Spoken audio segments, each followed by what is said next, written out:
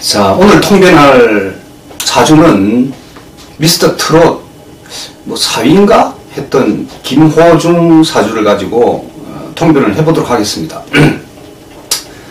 사실상 뭐 다들 노래를 잘하기 때문에 등수는 뭐 크게 의미가 없다고 봐지기는 합니다만은 그래도 대회는 대회니까 아마 등수를 매겨야 했지 않았을까 이런 생각을 해봅니다. 어, 김호중 사주인데 신민년 정유월 을사일에 태어났습니다. 양력으로 제가 풀었습니다. 어, 시간은 이 사주는 뭐 몰라도 어, 몰라도 통변이 가능하다. 저는, 저는 이렇게 판단했기 때문에 시간은 굳이 따지지 않, 않고 자리를 비워놨습니다. 어, 이 사주가 일반적으로 많이 있는 예, 많이 있는 유형의 사주이고 또한 아, 꽤나 예, 좋은 사주에 들어가는 그런 사주의 유형입니다. 패턴이 그렇다는 의미입니다. 자, 을목이 6월에 태어나서 평관월에 태어났는데 그대로 신금이 투관에 올라가지고 사주는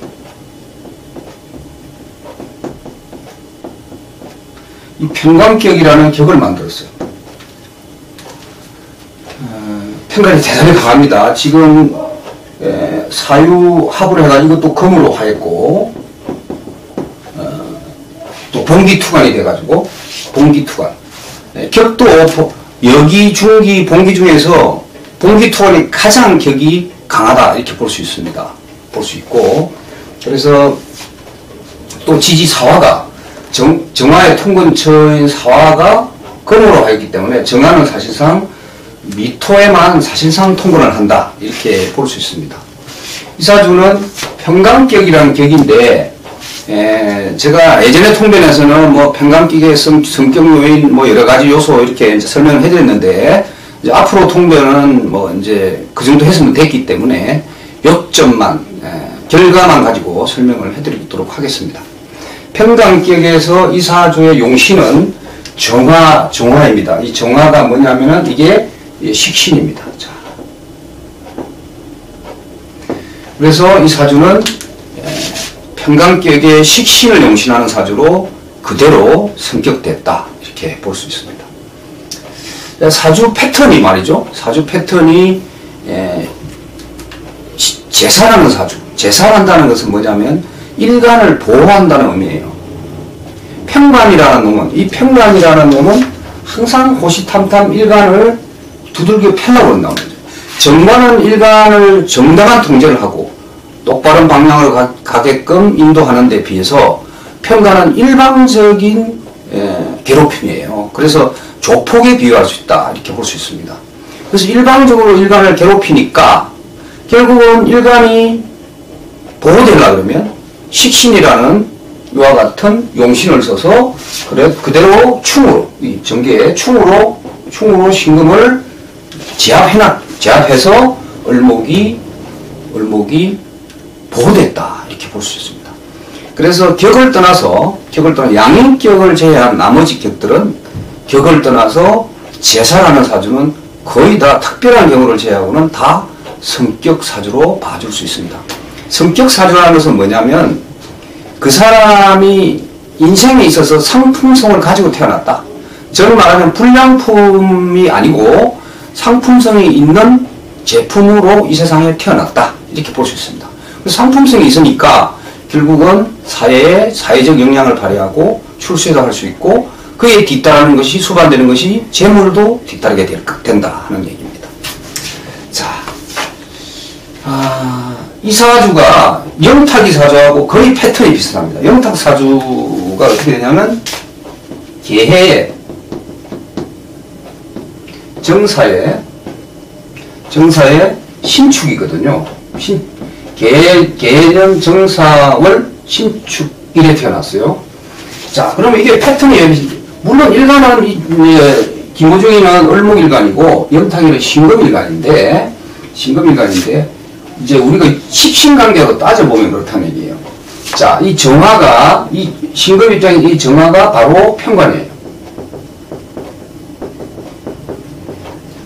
자, 신금 입장에서 이 개수가 바로 이 식신이란 말이죠. 그래서, 에, 영탁이 사주는 평관이 월, 식신이 연간에 있고 평관이 월간에 있는 구조고, 김호종 사주는 평관이 연간이 있고 식신이 월간에 있는 구조예요. 요 위치는 뭐 다르지 패턴은 똑같다. 즉 말하자면은 이 식신이 이 식신이 식신이 정화를 이걸 이걸 제살한다. 제살. 제살하는 구조는 똑같다. 여기서도 정화와 신금을 제살하는 구조는 똑같다. 그래서 둘 다 사주가 거의 비슷한 패턴으로 나와 있습니다. 에, 그래서 예술적 재능은 어디서 나오느냐? 바로 식신에서 나옵니다. 식신을 천간에 식신이 있고 식신이 에, 에, 있는 힘이 있는 그런 사주들은 그런 사주들은 바로 예술적 재능, 음악, 미술, 문학, 예술, 그 다음에 체육도 발달된 사람들도 꽤나 많이 있습니다. 그 다음에 머리가 비상합니다. 머리가 비상하고 촉이 빠르고 순발력이 뛰어나다. 순발력. 그 순간순간에 순발력이 뛰어나고 또한 아이디어도 풍부합니다. 아이디어도 풍부하다. 그래서 이 음악적 예술적 재능은 바로 식신에서 왔다. 그러면 성공할 수 있는 비결은 뭐냐? 제사를, 제사를 한 사주라서 성격됐다. 성격. 인생의 격이 이룰 성자, 격이 만들어졌다. 어, 품격이 완성됐다. 이런 얘기입니다. 품격이 완성됐다. 이런 얘기입니다. 자, 그래서 이제 이, 이 사주는 좋은 사주에 들어간다. 자, 을목이 미토에 통근하고 있어요. 미토에 통근하고 있는데 을목 통근체가 좀 약한 거는 흠이지만 이 정화도 미토에 통근하고 예, 이 사주의 특성은 뭐냐면 편관이 대단히 강하다는 거예요. 편관이. 자, 편관이와 같이 대단히 강한 구조는 또 편관이 더 강한 시, 시, 시점이 오게 되면 굉장히 어려움을 겪습니다. 왜? 이 식신이 평간을 제압을 하는데도 제압을 하는데 이 나쁜 놈이 힘이 워낙 세. 그러다 보니까 식신이 제압을 제대로 못한다 이런 얘기입니다. 제압을 제대로 못하다 보면 평간의 힘이 남아있다 보면 이때는 일간이 얻어맞는 경우가 만들어진다. 일간이 얻어맞는다는 것은 뭐냐면 그 사람이 인생에서 방황하거나 하는 일이 잘 풀리지 않는다. 이런 의미로 이해를 하시면 되겠어요. 자, 그리고 울로를 한번. 울로를 한번 보면, 이, 이제, 병대운에, 병대운은 병신합으로 해가지고, 이때는 제살도 하지만 합, 이때는 합살도 한다. 합살. 그래서 이때, 이때 어릴 때는 그냥 괜찮은 12살까지, 12살까지는 괜찮은 운동으로 봐야, 봐야 된다. 이렇게 볼 수 있습니다. 그러나 신금대운으로 내려오니까 이 또 지지 신금 이 그렇잖아도 이 편간이 강한데 이 편간의 통근체가 또 하나 더 만들어져 가지고 이때는 편간이 엄청나게 강해집니다. 그러니까 이 식신이 편간을 제대로 제사를 하지 못하니까 결국은 이때가 김우중이 시, 어린 시절에 즉 말하자면 13살부터 이 우리가 대우는 대우는 예, 본인의 업력생일 기점으로 보기 때문에 이 사주는 6월이잖아요. 그러니까 이게 13살부터 18살 뭐 한 상반기까지 이 정도는 김호중이가 방황하는 시기다. 그러니까 이때 예, 막뭐 싸움도 하러 다니고 자기 자신을 주체를 못하는 겁니다. 내 아닌 내가 내 의지와 상관없이 인생이 그렇게 끌려가게끔 울로가 운이 만들어졌더라 하는 겁니다. 자, 그래서 이때는 힘든 시기를 겪게 됩니다. 힘든 시기를 겪게 됩니다. 자, 그럼 18살 이때부터는 이제 18살 이제 한 하반기부터 하반기부터 18.5세 뭐 이후부터 5세 이후부터는 을미대원으로 넘어옵니다. 을미대원으로 넘어오니까 자, 을목이 하나 더 들어왔어요. 더 들어오니까 결국은 뭐냐면은 에, 편관이 두들 펠, 두들겨 펠롬이 하나 더 생겼다는 거죠. 하나 더 생기는 더 생기고 식신이 어느 정도 제사를 하고 또 얼목이 하나 더 들어오니까 여기서 생을 한다 이거 생을 목생화해서 식신의 힘이 강해질 수도 있고 그 다음에 두들긴 놈이 하나 더 생기니까 결국은 신금의 힘이 결국은 약해진다 이런 의미에서 볼 때는 이런 운들은 좋은 운이다 또 얼목이 미토에다 자기 통근처가 또 만들어졌어요 자 28 가보대운 때도 지금 좋은 운으로 왔어요 이제 간목 음? 또 5대운은 또 정화에 걸록이 들어와가지고 걸록이 들어와가지고 이 신금을 아주 많이 지지해서 무력화시키고 있다. 그래서 이런 운도 아주 좋은 운으로 봅니다. 자, 개사 임진 대운은 어떻게 봐야 될 것이냐? 개사 대운이 들어오면서 개, 개수가 정화를 날리기 때문에 평간이 이제 자유로워지지 않느냐 이렇게 볼 수 있지만 그걸 그렇게 보는 게 아니고 이때는 용신이 이때까지는 식신이 용신을 하고 있다가 이때는 인성이 용신이 되는 겁니다. 그래서 그때는 살인상생 구조.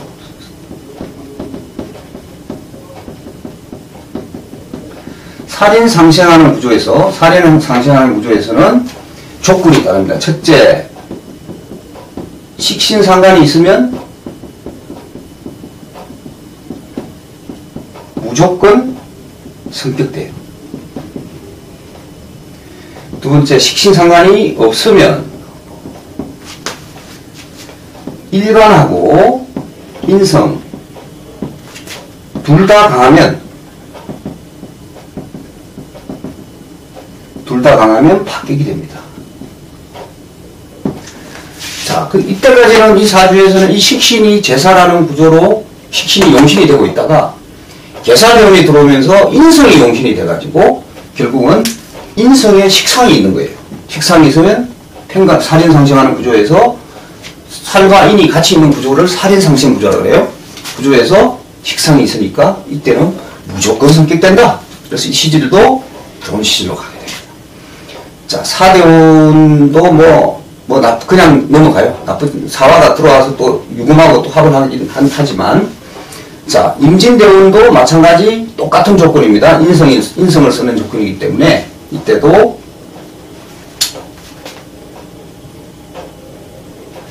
좋아질 뭐 그, 그냥 넘어가네.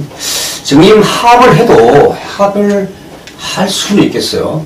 할 수는 있는데 아 이때는 조금 임진대원에 임대원에 합을 해버리면 합을 해버리면 묶이는 거거든요. 묶이는 거기 때문에 임진대원 이때는 임대원은 저는 별로 안 좋다고 이렇게 판단합니다. 자 진대원은 그냥 흘러가고 그 다음에 신묘대원의 신대원은 별로 안 좋지만 묘대원은 을목이 자기 통근처 근록을 근록에 통근함으로써 일간이 강해진다는 것은 좋은 거예요. 특후나 평강격에는 일간이 강하면 강할수록 좋은 사주가 됩니다. 자, 그래서 이때는 좋고 이제 경건대원도 괜찮아요. 왜냐하면 이때는 일간하고 정관이 합을 하고 들어요. 일간과 정관이 합을 한다는 의미는 좋은 의미다. 아, 이렇게 보시면 되겠어요. 그 다음에 예, 인목, 인목대, 인대운에도 을목이 인목에 통과합니다. 그래서 대체적으로 이 사주는 임진대운 앞으로의 울로에 있어 가지고 임진대운하고 임진대운은 좀 막 좀 좀 안 좋은 운으로 봐지고 신대운은 그냥 삼각표 정도로 봅니다. 삼각표. 좋은 에, 안 좋은, 안 좋은 운보다는 그냥 좋다고 할 수 없는 운, 이런 의미로 받아들이시면 되겠어요. 그럴 정도로 봐주면 되겠습니다. 자, 그러면 경자년에 왜 이렇게 참 두각을 더 나타냈느냐? 경자년에 인기도 더 좋아지고 했느냐? 경자년은, 자, 한번 볼게요. 자, 경자년은, 자, 경금이 들어와서, 경금이 들어오면서 일간과 합을 합니다. 일간과 합을 합니다. 정관이 일간과 합을 한다는 것은 지금 일간 거예요. 정관이 일간 거다. 정관이 일간 거라는 것은 뭐냐면 명예, 명예, 명예가 올라가고 그 다음에 내가 좋은 뭐 일종의 예, 옛날 같으면 벼슬 한다. 뭐 지금은 직업이 워낙 다양하기 때문에 그렇지만 옛날 같으면 벼슬 할 수 있는 그런 운 이런 운으로 정관운을 꼽습니다. 그리고 성진한다 이런 운도 정관운을 꼽아요. 예. 그래서 그런 또 이제 명예가 올라갔죠. 예, 뭐 명예라든가 여러 가지 조건이 좋아졌다 이렇게 볼 수 있습니다. 자, 자수의 역할은 뭘까요? 자수의 역할은 이, 이그 지지의 검이 강한 것을 이 검생수해서 생활하게 해서 이 검의 기운을 많이 빼앗아 온다. 이런 의미에서 볼 때는 경자년은 김호종이한테는 좋은 눈으로 우리가 이해할 수 있겠다. 이렇게 볼 수 있습니다. 아, 내년에 이제 뭐 신축년은 좀 조금 주춤하겠어요. 이유는 뭐냐면 이제 대운은 뭐 대운에 이제 괜찮은 대운으로 왔기 때문에 그렇지만 세운에서 신축년에는 조금 주춤할 것이다. 이유는 뭐냐? 자, 편간이 하나 더 들어왔어요. 하나 더. 편간이 하나 더 들어왔고 또 축토가 들어오면서 사유축까지 해서 완전히 건국으로 많이 형성을 하기 때문에 내년에는 좀 금년보다는 활동이나 여러, 여러 가지 면에서 좀 위축되지 않을까 하는 그런 생각을 해봅니다. 예, 미스터 트롯 예, 김호중 사주를 가지고 어, 통변을 해봤습니다.